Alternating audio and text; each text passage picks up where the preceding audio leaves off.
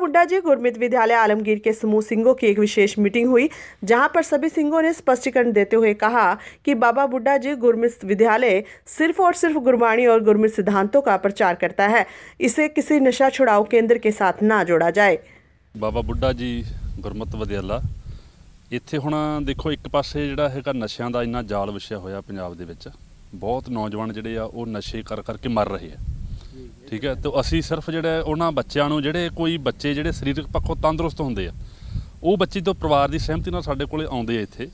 ਤਾਂ ਉਹ ਉਹਨਾਂ ਨੂੰ ਇੱਥੇ ਗੁਰਬਾਣੀ, ਕਥਾ, ਕੀਰਤਨ ਰਾਹੀਂ ਪ੍ਰੇਰਣਾ ਦੇ ਕੇ, ਤਾਂ ਜੋ ਉਹਨਾਂ ਦੇ ਵਿਚਾਰ ਬਦਲਣ, ਉਹ ਨਸ਼ੇ ਨੂੰ ਛੱਡ ਕੇ ਉਹ ਗੁਰਬਾਣੀ ਰਾਹੀਂ ਜਿਹੜਾ ਹੈਗਾ ਉਹ ਸਿੱਖੀ ਧਾਰਨ ਕਰਨ।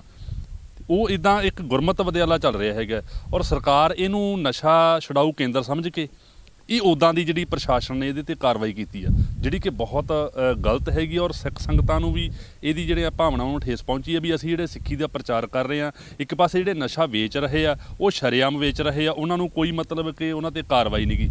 ਪਿੱਛੇ ਜਾ ਤੁਸੀਂ ਜਿਹੜਾ ਦੇਖਿਆ ਹੀ ਹੈਗਾ ਵੀ ਉਹ ਜੀਰੇ ਤੋਂ ਐਮਐਲਏ ਕੁਲਬੀਰ ਸਿੰਘ ਨੇ ਕਿੱਦਾਂ ਉਹਨਾਂ ਸਾਰਾ ਚਿੱਠਾ ਜਿਹੜਾ ਉਹ ਆਪਣੀ ਸਰਕਾਰ ਦਾ ਹੀ ਐਮਐਲਏ ਉਹਨਾਂ ਨੇ ਮਤਲਬ ਕਿ ਖੋਲਿਆ ਸਾਰਾ। ਹੁਣ ਉਹ ਸ਼ਰੇਆਮ ਵੇਚ ਰਹੇ ਆ ਪ੍ਰਸ਼ਾਸਨ ਉਹਨਾਂ ਦੀ ਹੈਲਪ ਕਰ ਰਿਹਾ ਦੂਜੇ ਪਾਸੇ ਜਿਹੜੇ ਛਡਾ ਰਹੇ ਆ ਜਾਂ ਨਸ਼ਿਆਂ ਤੋਂ ਅਸੀਂ ਸਾਡੇ ਇੱਥੇ ਬੈਠਾ ਬੈਠੇ ਹੁਣੇ ਇੱਕ ਪਰਿਵਾਰ ਆਇਆ। ਉਹ ਮਾਂ ਕਹਿੰਦੀ ਉਹਨੂੰ ਜਲਦੀ ਲੈ ਕੇ ਆਓ ਬੱਚੇ ਸਾਡੇ ਨੂੰ ਨਹੀਂ ਤਾਂ ਉਹਨੇ ਸਾਨੂੰ ਮਾਰ ਦੇਣਾ।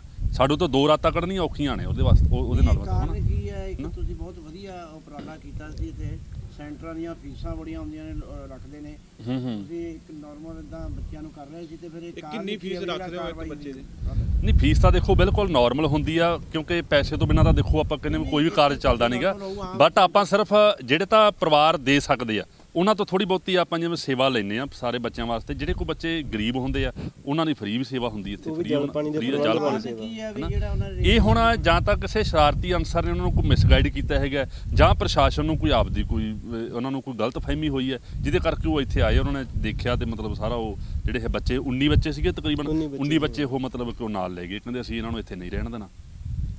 ਤੋ ਜਿਹੜੇ ਬੱਚੇ ਅਸੀਂ ਪ੍ਰਸ਼ਾਸਨ ਤੋਂ ਇਹ ਮੰਗ ਕਰਦੇ ਹਾਂ ਵੀ ਪਹਿਲੀ ਗੱਲ ਤਾਂ ਇਹਨੂੰ ਤੁਸੀਂ ਨਸ਼ਾ ਛਡਾਊ ਕੇਂਦਰ ਦੇ ਤੌਰ ਤੇ ਨਾ ਦੇਖੋ।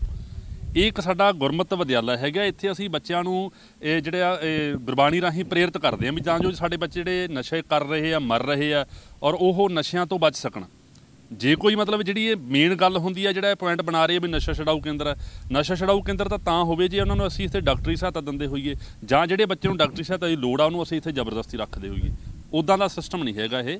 ਇਹ ਸਿਰਫ ਗੁਰਮਤ ਵਿਦਿਆਲਾ ਹੈਗਾ। ਇੱਥੇ ਬੱਚਿਆਂ ਨੂੰ ਇਹ ਜਿਹੜੀ ਆ ਗੁਰਬਾਣੀ ਪੜ੍ਹਾਈ ਜਾਂਦੀ ਹੈ ਔਰ ਉਚੇਚੇ ਤੌਰ ਤੇ ਕਹੋ ਵੀ ਉਹਨੂੰ ਨਸ਼ਿਆਂ ਤੋਂ ਪ੍ਰੇਰਿਤ ਕਰਨ ਲਈ ਸਿੱਖਿਆ ਦਿੱਤੀ ਜਾਂਦੀ ਹੈ।